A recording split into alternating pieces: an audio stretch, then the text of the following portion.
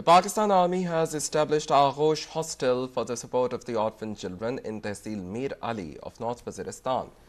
The hostel was inaugurated by the Pakistan Army in 2023 with the support of Al Khidmat Foundation for Orphan Children of the district, where the boarding students have been provided free accommodation and food.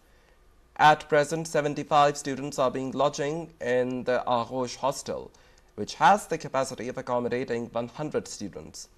The students enjoy equal opportunities in scientific and religious studies as well as extracurricular activities to grow and become productive citizens of the society. The people of the area thanked the Pakistan Army for this good work and said that due to this effort of the Pakistan Army, the orphans will now be equipped with modern sciences and will be able to play their due role in the development and prosperity of the country. Pakistan